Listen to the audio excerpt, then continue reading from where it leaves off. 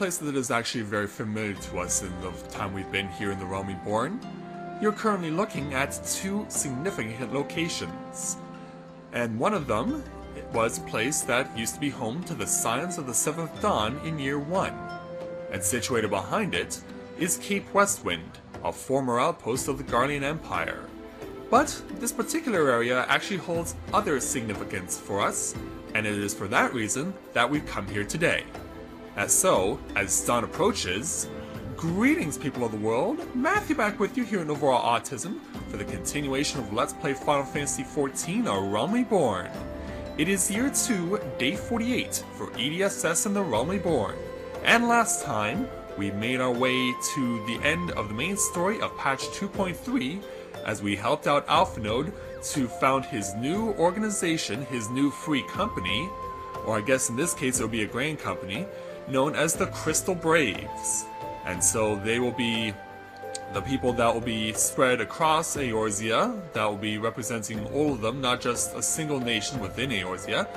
But of course, we're taking a break from that since we've reached the end of the patch 2.3 main storyline, so the sun is starting to rise here in Western Thanalan, and it's time for us to get the sun rising on another mystery featuring our hilarious Inspector Hildibrand.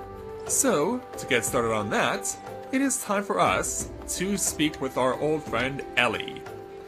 Yeah, my my controller got stuck for a while. It kept moving forward, I had actually had to pull it back in order to stop myself from moving forward and crashing into a rock. so yes, Ellie, the reporter for the Eye, will get us started on the new Inspector Hildibrand mystery. So let's speak with her and take on the challenge entitled The Business of Betrothal. Ellie has put her skills as a reporter to good use. Oh, there you are. I've been doing some investigating on my own since we last parted. I believe we found our Lapis Maiden. The girl's name is Arabella, daughter of one Master Guguremu, a prominent member of the East Aldenard Trading Company. Her eyes and hair are most exceptional shade of blue. Her beauty is the talk of the Sultanate. Her purported beauty, I should say. You see, none have actually seen the girl in the flesh. Apparently her father is the overprotective sort. Some say that the maiden has never set foot outside the family's well-guarded estate. But all this is about to change. Rumor has it that the girl is to be wed, and not just that to anyone, mind you, to the heir to the Bruguiere Consortium. The formal announcement is set to be made at a commemorative feast, to be jointly hosted by the two family businesses. The venue is Costa del Sol, where preparations are going on as we speak. Word on the street is that the bride-to-be will be making a rare public appearance. It is here that the thief intends to strike. I couldn't be more certain of it. Piqued your interest, have I? My sources tell me that the bride's father is already in Costa del Sol overseeing the preparations. This is one scoop I'm not going to miss, and you're welcome to come along. And so, off goes Ali to Costa del Sol. So, let's go ahead and join her there. Yeah, we've had business in Costa del Sol before. It was, of course, the main focal point of the series of challenges that we did for the Company of Heroes that allowed us access to be able to fight against Titan back in year one. So, now that we've arrived at Costa del Sol as the sun is rising here, yeah, it's not often you get to come here at sunrise, but you can't help but admit that—that this is a pretty sweet shot. That that is a pretty sweet shot right there, you have to admit. Hey there, Whiskate. Yeah, he was the leader of the Company of Heroes. So, here's Guguremu. So let's speak with him.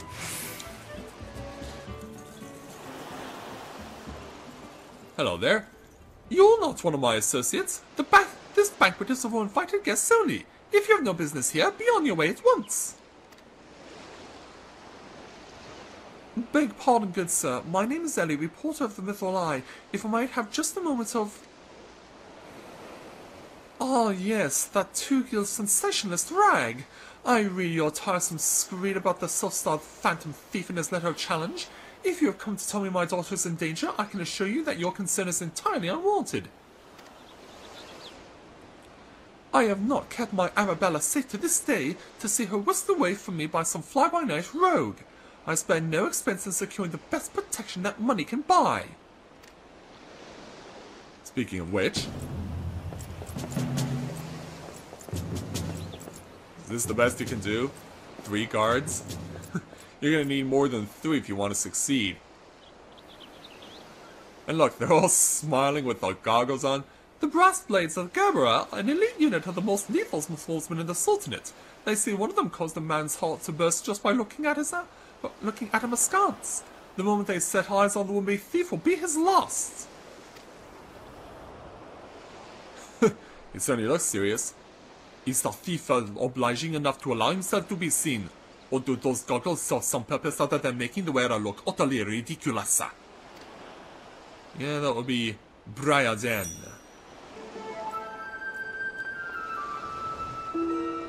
Consulting Inspector Briardien, your reputation precedes you. And what, pray would you propose? I prom promise some of the wealthiest men in the realm that my daughter will be attending the festivities. To renege on such word, you would, ha would have dire implications for the family trade. My proposal is a simple one. Entrust the investigation to me. The thief will be in shackles before the banquet commences, and it will cost you not but a whit of your precious skill. yeah, services for free definitely seems like a good idea. Very well, let us see if your reputation is deserved. But consider yourself warned. Greater fortunes than you, you will ever know hinge upon this banquet. I will not tolerate any disturbances. Well, let's hope for your sake that it goes down like that.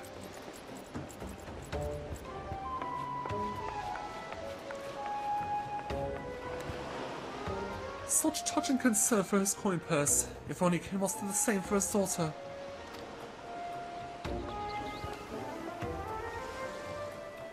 But do tell, Inspector, after he slipped under our noses last time, what makes you so confident that you can catch our thief this time around?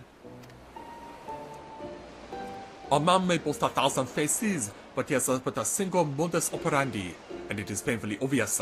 A letter of challenge, a precious treasure whisked away from its rightful owner in the broad light of day. This tells me that our thief is an attention seeker with supreme confidence in his abilities. Doubtless he means to target the maiden using that same methods he used to abscond with a treaty blade. And so, you always have to keep adjusting your glasses. Even now, the fiend is in our midst, having assumed the identity of someone who be in close proximity to Miss Arabella at the feast. I've already narrowed the field. What do you have in mind? Arabella's betrothed, Van, would be an obvious target for a thief. So too would be his father Morgant. Yotonoto and his wife Sienna, the guest of honor, will give a toast to the couple's happiness. Both will be standing close to the stage where the bride to be is set to appear. Needless to say, we cannot rule out Gegorumu himself. And finally, we have Lewenhart, a steward of Guguremu's estate and Miss Arabella's personal assist attendant. All the key players, save for the Lapis and herself, have assembled in Costa del Sol. Doubtless the Phantom Thief lurks among them, his face concealed, gathering information and planning his course of attack. We will begin our questioning of the suspects immediately. Should you encounter any suspicious individuals, you will report back to me at once. And that's... no eating on the job? No. It just happens to be... Hildibrand Manderville. I could smell the stench of idiocy and incompetence from a mile away. The pleasure is all mine, contriving Inspector Briardien. Forgive me for not revealing myself sooner. I was simply conducting a bit of preliminary undercover investigative work. Yet to see through my ingenious disguise with such ease, yes, I dare say your powers of observation rival even my own. Feel not, friends. I, Hildibrand, agent of inquiry, Inspector Extraordinaire, have arrived to defend the maiden's honor as only a Manderville man can. well, the brass blade certainly seems to think he'll do a good job. And would it help for you to take your the fish out of your hair?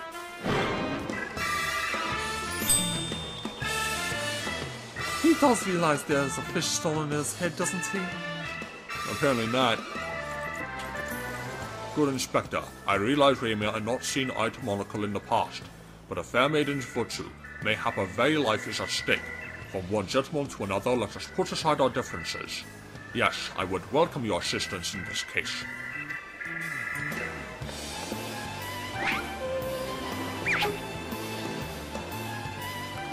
Me? Assist you? Aren't you a funny man? Oh, it makes no matter. My plan is so flawless that not even your bungling can interfere this time. If you wish to assist me, you may do so by keeping watch over their suspects.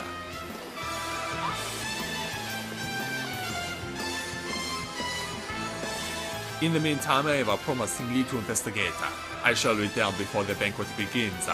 Well, I know this may be asking much. Uh, do try not to do anything too stupid in my absence, will you? I will speak with you, but not here. I will be waiting for you outside Costa del Sol. Come quickly, for we do not have the luxury of time.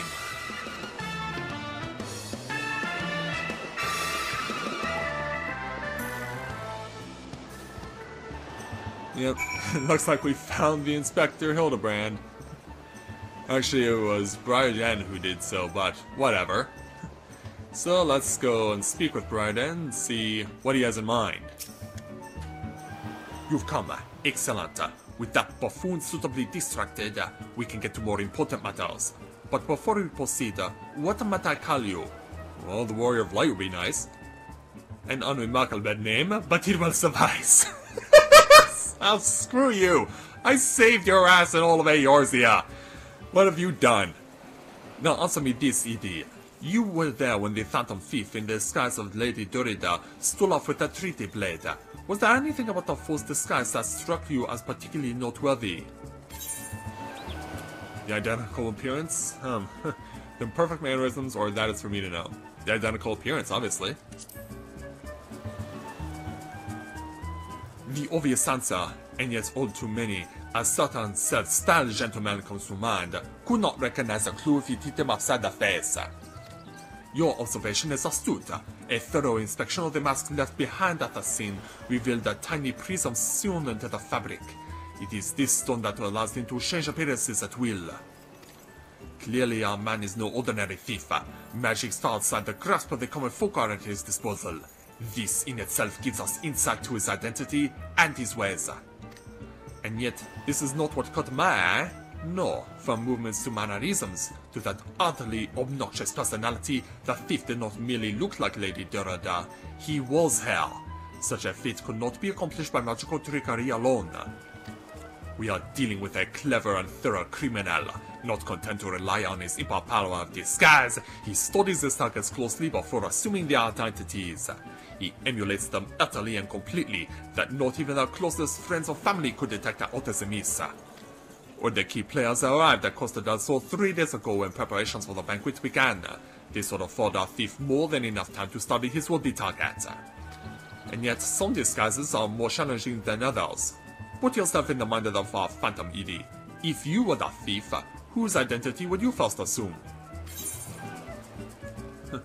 A brass blade or one of the guests, or I will not say. Well, I'm gonna go with one of the guests because they're the people who are closest to the bride. Woody, uh, the guests are well acquainted with each other.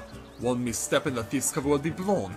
No, there is a more logical first target, one that would afford the opportunity to gather the knowledge he needs and at last risk. Yes, one of the blast brass blades of the Gerbera. Strong in number, few of words, able to come and go as they please. A fearsome reputation to scare away any who would draw near enough to realize something was amiss. An ideal entry into Costa del Sol for our man. Did you sing as much? I made the point to question blast brass blades in the area. Little to my surprise, I learned that there was one man who had not been seen at his favorite outhouse for three days past. A thief has not made a habit of wanton murder. Doubtless the poor man is lying naked in a ditch not far from here. In addition to general security duties, each of the braids has been assigned to serve as a bodyguard for one or more of the guests. If the man can tell us of his assigned charge, like as not, his answer will reveal the current identity of the thief. A thief would have not had the time to carry the unconscious man far. I will canvass the area. You must begin your search on the outskirts of Costa del Sol. Yes, I believe I can do this for you. So, where will we find this man? We don't have an arrow to indicate where he could be, or a circle. Because usually these things identify where the guy is. And there's no... Okay, I see the yellow circle. I can see the yellow circle now. Okay, yeah, he's all the way down at the bottom of the map. Alright. Let's see if we can find this person. Yeah, wow, he's all the way down at the very south of Eastern La Noscea. He's as far south as you can be in Eastern La Noscea. That, that's quite some distance to drag a Man. And look what could be waiting for him here. Giant crabs, among other things, that could claw and snap at him to tear up his body. Certainly is not an enviable position to be in.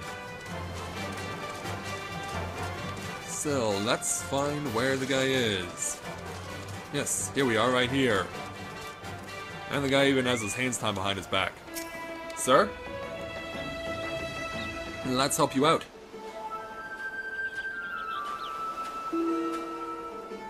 Excellent. You are one of the less incompetent assistants I have worked with. Um, thank you. Uh, thank the gods! Please free me from these chains before the slippers eat me alive! And so after we do... There. Now tell me all you can remember about what happened to you, and try to be brief. Uh, we had just arrived in Costa del Sol, had a briefing of sorts. Master Guguremu gave us each our orders. We who would be looking after and the like, had a mind to tour the area, get my bearings. Next thing I knew, I felt a thwack on the back of my head. When I came to, here I was, stripped to my skivvies. Much to the chagrin of those of us who are to look at you, you say you received orders from Master Guguremu, who was to be your charge. My memory is hazy, but uh, one was Morgant, father of the groom. The other was Lala Felingen from Limsa. Yoto Noto. Now, try your best to remember. Were there any other guests with whom you were ordered to interact? Uh, come to think of it, yes. Uh, there was also the steward, Lewenhart.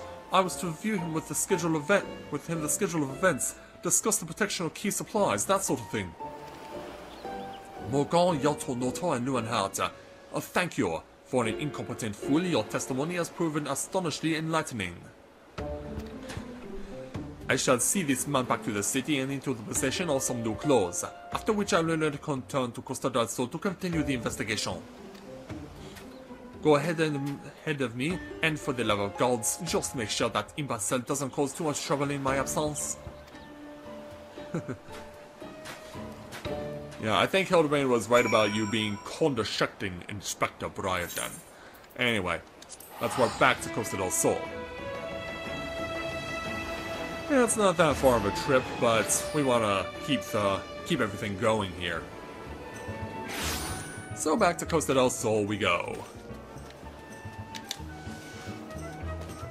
So, our Hildibrand, our good buddy Hildibrand, should be right over here underneath the canopy.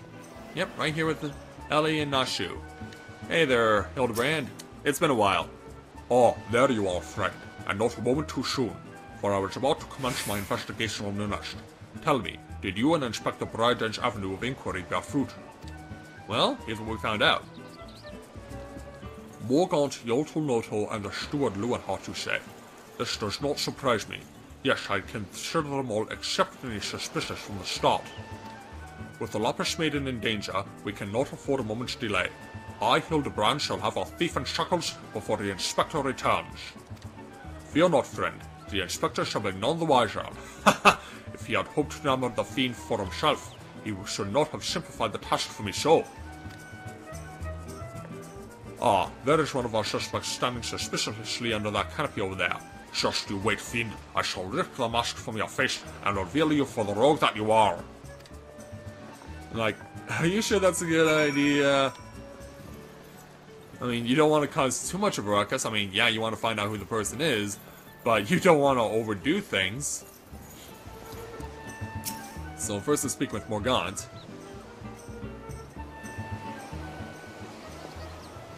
Stand friend.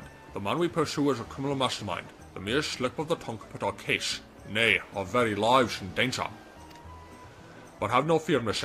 Ready your quill that you might record my every word, as I employ the time-honored part, art of parley, handed down from Manderville Man of ages past to reveal our foe. Does this parley involve physical combat? I can think of few topics that would interest my readers less than your blatherings. Just catch the thief so I can have my story, would you? Don't worry, Inspector. I brought my quill and journal too. Your adoring fans won't miss a word. Capital. That is why you are my favorite assistant, Nashu. Now behold as I ensnare a prey with a web of words leading to his inevitable demise. Well, good day, Master Guguremu, and a fine day must be for most of you. Oh, for you most of all, allow me to offer my most heartfelt congratulations on your betrothal to the enchanting Miss Arabella. What is this nonsense? Arabella's my daughter. You... Just who in the Seven Hells are you anyway?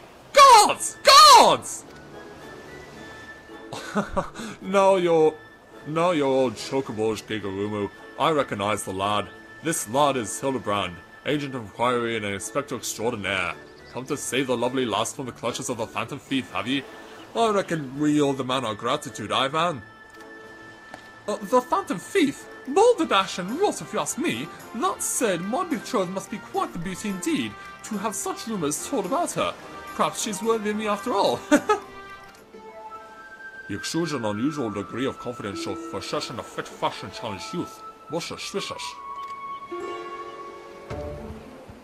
He's a damn sight easier on the eyes than you. I don't know about that. That's Bivan, ever calm in the face of danger. Truly is his father's son. A worthy heir to the Bruguiere Consortium and a worthy match for my daughter, I must say. Yes, I foresee many years of prosperity for our families. Or family, I should say. Which reminds me, Mr. Van. Arabella asked me to convey her gratitude to you for the golden clasp you sent some months ago. It has not left her neck since this day. Oh, that little trinket! Twas nothing. Tell yours also the greatest treasures in the realm will be hers once we are wed.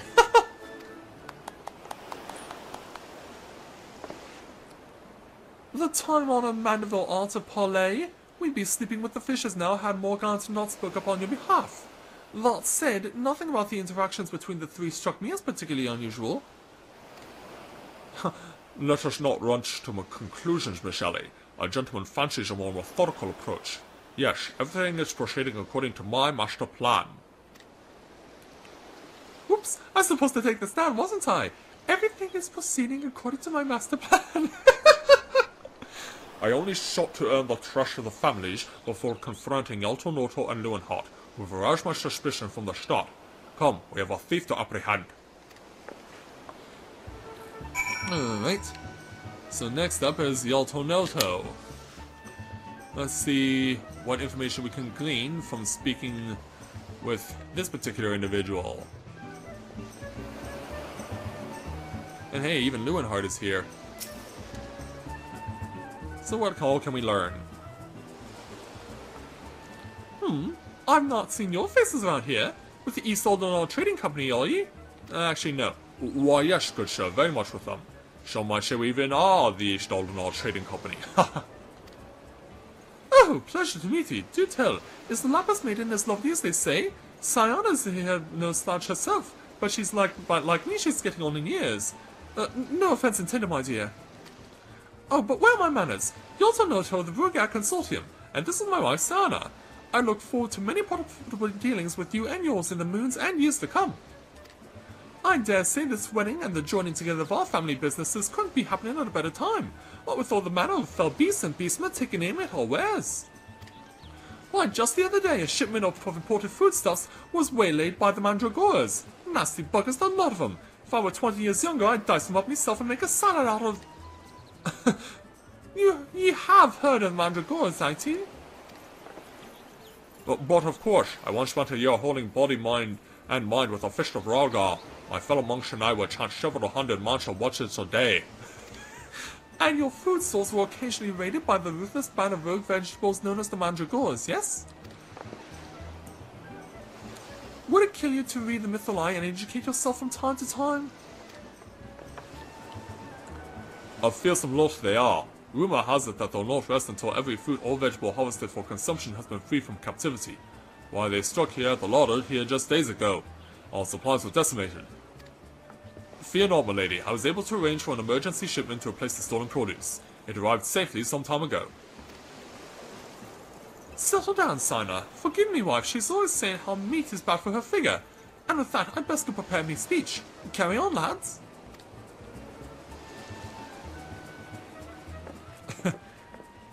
Chromony. None of those three were suspicious the least, but we must not give up hope, lest he of many faces have the last laugh. Where there is a will, a gentleman shall find a way. Come, Nashu, we must move quickly, or the Lapis Maiden shall not be the only one to come to harm. You speak so fast, Inspector. The son of a quick mind, I'm sure. Now, where was I? Give up hope. He of many faces will last. The Lapis Maiden shall not be the only one to come to harm. I'm not sure how that captures the Inspector's intended meaning. But this is no time for us to be standing around. Inspector Briardien will be back any moment now, and he's not the type to suffer excuses. Quite sure, Miss Shelley. Fortunately, I have a plan. Let us investigate the foodstuff for which Master Lewenhart spoke. Should we find any contradictions in his testimony, we can consider the man a prime suspect. Inspector Briardien will be back before long. Come, Nashu, this is no time to delay. And so now, we have to finish this particular quest by inspecting the supplies that just arrived. So, let's hit the water running in this instance. Yeah, we would be hitting the ground running, but in this instance we're hitting the water running. Now the only question is... Alright, so it should be up at the top of the lighthouse area. Yeah, and yes, there is a lighthouse that's next to Costa del Sol. Yeah, we often have not seen this particular item due to the fact that, well, for the most part, we never actually come up here. Yep, we go. So yeah, among the water buffalo and whatnot, we will find what we seek.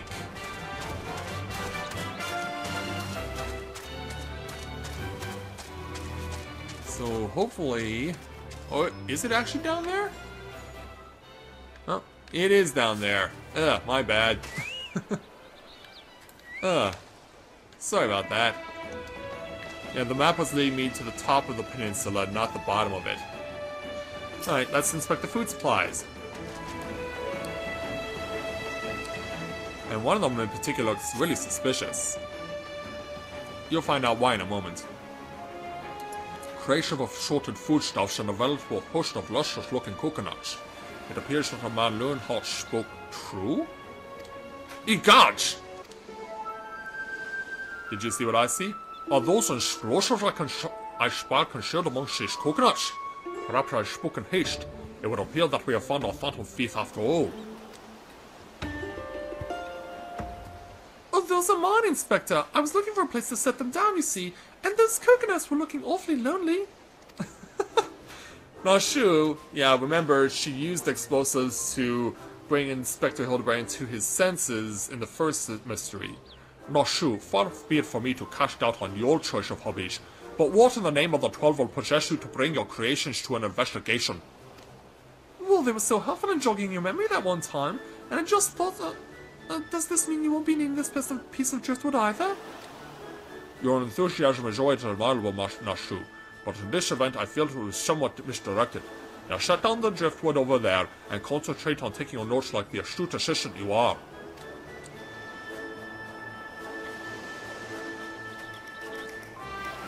And so she does.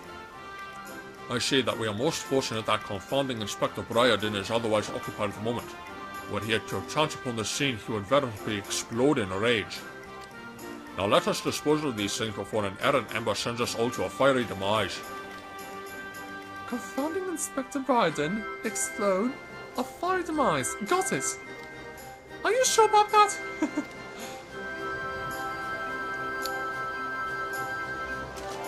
And then... Uh, uh, don't look now, but someone has returned at the worst, the worst possible time.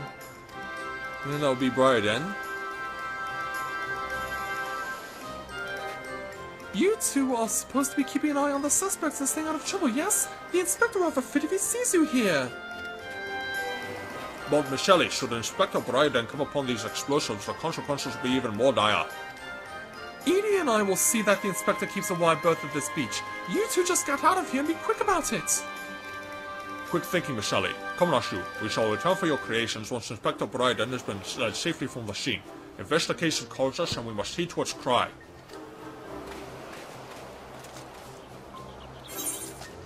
Well, that takes care of that. But yeah, that certainly took a while. Nearly half an hour to do just the one challenge alone. That's, that's pretty nuts. So, I guess it's gonna be one and done for us today, as we get started on this mystery involving Inspector Hildibrand and the Lapis Maiden who is to be married, who we have not yet even seen. I mean, considering that the bride and groom have never crossed sides with each other before, suffice it to say, this has all the makings of an arranged marriage. So, with all that's taken in mind, we will leave our next inspection challenge for next time. So with that, I'd like to thank everyone for watching the continuation of Let's Play Final Fantasy XIV on Realm Reborn. And when I join you again, we will see what Inspector Briardien has in mind as we continue to search for the Phantom Thief in the hopes that he will not take the Lapis Maiden's treasure. So until next time everyone, this is Matthew at Novora Autism, saying take care, and I'll see you soon.